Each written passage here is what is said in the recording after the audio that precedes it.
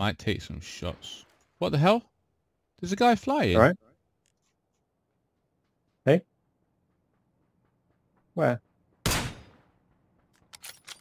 Like coming straight towards us. Oh, he's in a glider.